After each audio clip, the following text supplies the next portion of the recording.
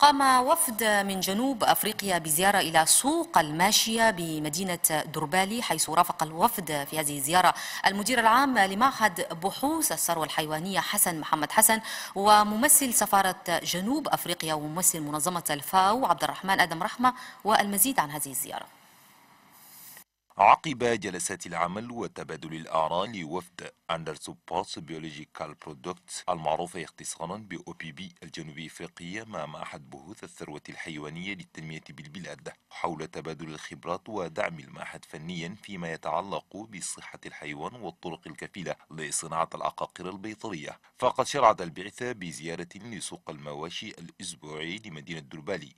وذلك بهدف التعرف عن قرب لحالة المواشي الصحية وكيفية تعامل الأطباء البيطريين في معالجة المواشي بصفة عامة. هذا وفي البدء فقد عقد الوفد لقاء مع لجنة إدارة سوق الماشية وقد ركز اللقاء حول العديد من النقاط من بينها السعي إلى تطعيم البهائم في الزمن المحدد وكذا تتبع إرشادات البيطري المختص. الأمر الذي ترك ممثل سفارة جنوب إفريقيا.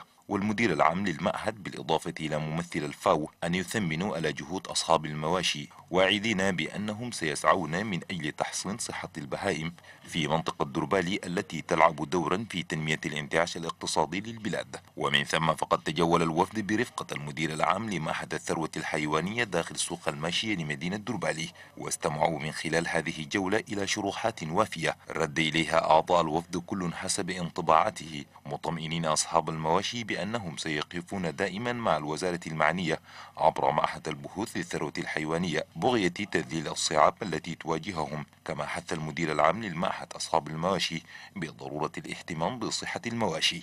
الناس جو معانا بيشوفوا كيف السر الحيوانية في تشاد شغالة. والمشكلة اللي جينا لها خاصة هو صحة الحيوان.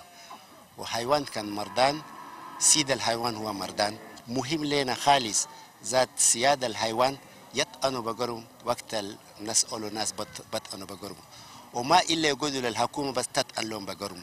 واحد عنده مال بيشيل بقرة بقدر بطأن 100 ولا 200 كما أضاف المدير العام للمعهد بأنه ستؤخذ أينة لمرض الماشي المستعصي وقد تدرس حالته أملا في إيجاد الدواء اللازم من المختبر.